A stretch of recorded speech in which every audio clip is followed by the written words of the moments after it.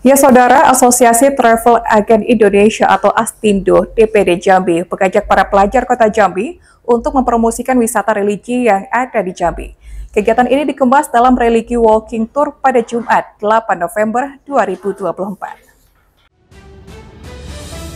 Puluhan pelajar sekolah menengah kejuruan 2 dan SMK 6 Kota Jambi, jurusan pariwisata, mengikuti kegiatan religi walking tour yang diselenggarakan oleh Asosiasi Travel Agent Indonesia atau ASTINDO DPD Jambi pada Jumat pagi 8 November 2024. Kegiatan ini dilaksanakan bertepatan dengan peringatan hari ulang tahun Astindo yang ke-25 tahun.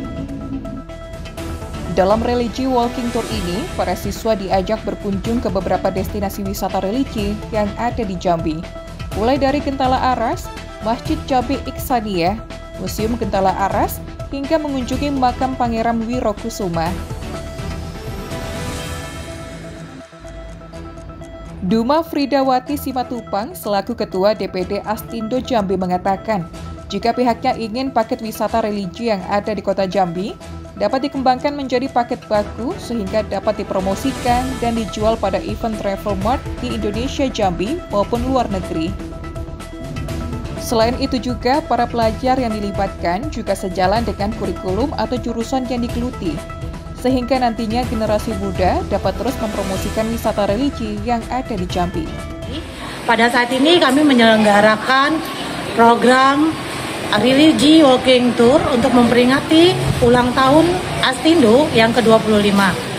Kami sangat berharap Jambi itu punya banyak sekali destinasi sebenarnya uh, yang tidak perlu jauh di dalam kota juga bisa dan kami ingin paket-paket religi yang berada di kota Jambi itu bisa dikembangkan dan menjadi paket baku yang akan kami promosikan pada travel mart travel mart yang berada yang diadakan baik di Indonesia maupun di luar negeri. Jadi harapan kami kita uh, provinsi Jambi bisa menyadari bahwa pariwisata juga memiliki uh, suatu uh, hasil untuk menyumbangkan PAD-nya untuk uh, kota Jambi. Oke, peserta yang kita libatkan pada saat ini adalah anak-anak dari SMK 6 dan SMK 2 di mana dalam program pendidikan mereka, kurikulum mereka, mereka adalah jurusan pariwisata yang nantinya ke depan mereka juga yang akan uh, mempromosikan dan memperkenalkan juga destinasi-destinasi yang ada di kota Jambi kita.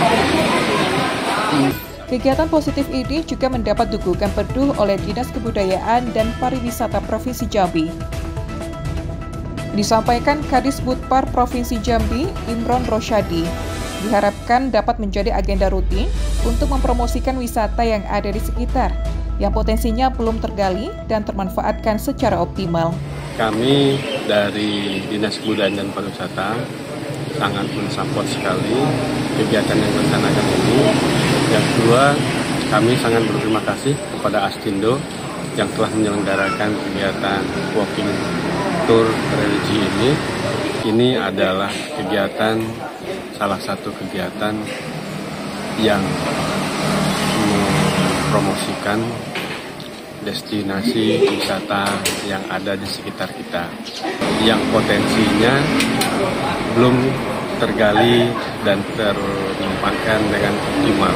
Kami berharap ini dapat menjadi agenda rutin mereka satu. Yang kedua ini dapat menjadi awal bagi Astindo untuk membuat paket perjalanan yang eh, dekat lokasinya dengan kota. Dengan paket yang disiapkan nantinya ini, wisatawan merasa puas dan akan berkunjung lagi ke Jambi. Lina Liska, Cek TV, melaporkan.